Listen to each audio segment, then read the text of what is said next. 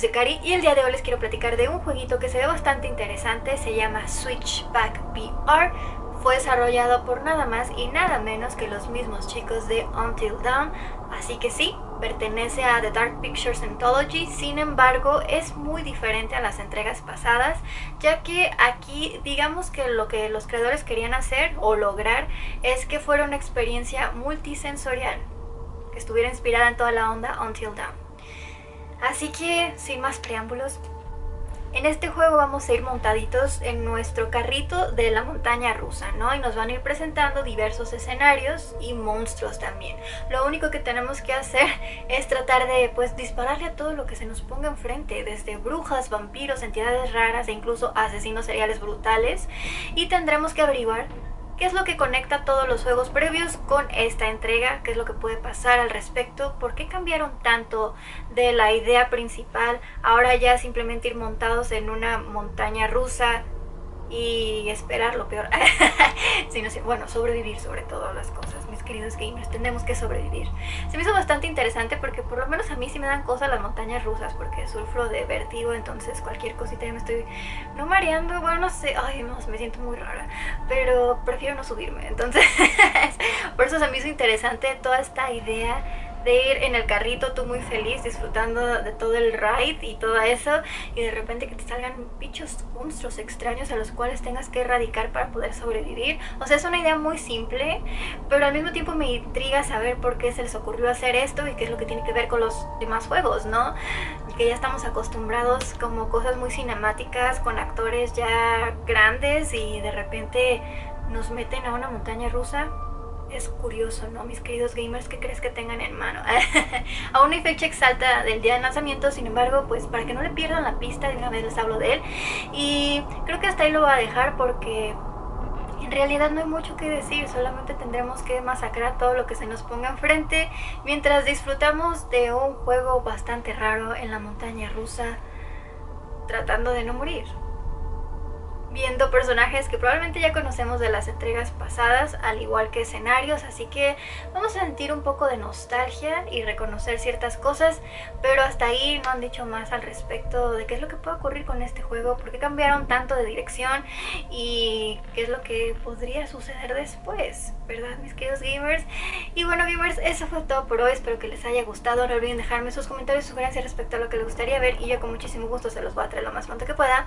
Y los saluditos de la semana son para mi queridísimo Trapito. Y es cierto, la verdad creo que nuestras creepypastas van a ser bastante extrañas, ¿no? Vean cómo evoluciona, ¿no? Todo, todo va evolucionando y de las leyendas urbanas que nosotros conocíamos de niños.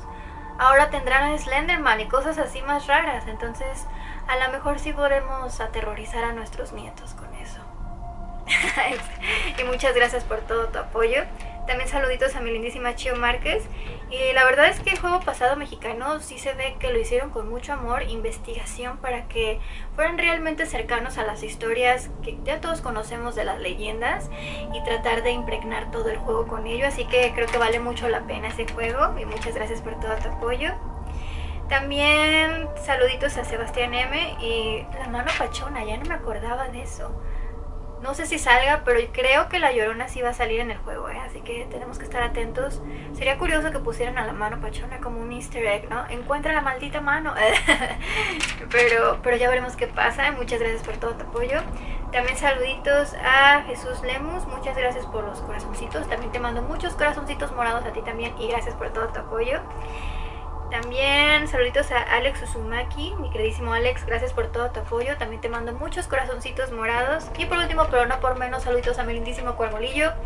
Y sí vi tu saludo, ¿eh? Y de hecho sí me gustan como los molletitos dulces con dulce de leche. Ay, qué rico. Ay, ya me antojaron. Ay, ¿por qué siempre me antojan cosas así, comida? Yo sé que me ven flaquita, pero en verdad como un montón. Y me dan antojos severos. De esos antojos que dices eso está mal. Contrólate, mujer. Pero sí. Ay, qué cosas. Bueno, mis queridos gamers, muchísimas gracias por todo su apoyo. Yo les mando un besote, un abrazo y nos vemos hasta la próxima. Bye. Ay, nuestras conversaciones, ¿no? Bueno, no, de hecho casi no hablamos de comida. Porque la verdad es que sí está bien comer. Cuando estás viendo cosas de terror.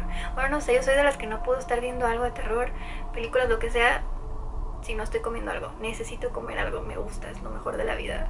Pero bueno, ya, datos innecesarios sobre mí. ya, bye.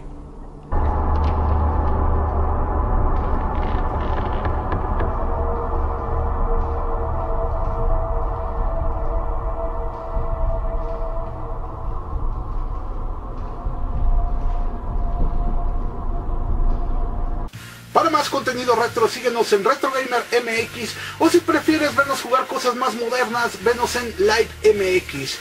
Cualquier sugerencia o duda, déjala aquí en la caja de comentarios. Nos interesa tu opinión. Los veo el próximo video. Adiós.